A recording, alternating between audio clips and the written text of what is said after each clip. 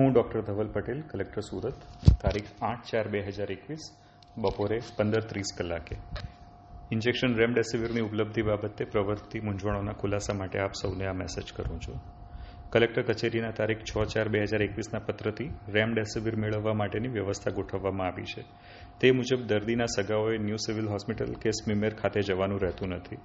જે હોસ્પિટલ કે ડૉક્ટરની સારવાર હેઠળ દર્દી હોય, તેઓએ નિયત નમૂનામાં covid nineteen dot INJ twenty twenty one at the rate Gmail dot com અથવા covid nineteen dot INJ twenty one at the rate Gmail dot com પર હોસ્પિટલની અધિકૃત વ્યક્તિની સહી સાથે અરજી કરવાની રહે છે.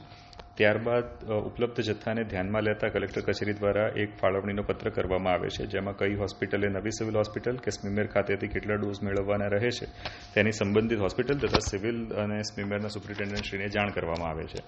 આ ફાળવણી પત્ર હોસ્પિટલનો જે તે વ્યક્તિ માટેનો authority letter, ID card, hospital ના દર્દીના રિપોર્ટ્સ, આધાર કાર્ડ, ડોક્ટરનું પ્રિસ્ક્રિપ્શન વગેરે માહિતી સાથે રાખી હોસ્પિટલના અધિકૃત વ્યક્તિએ ઇન્જેક્શનની પડતર કિંમત ભરીને દવા મેળવવાની રહેશે.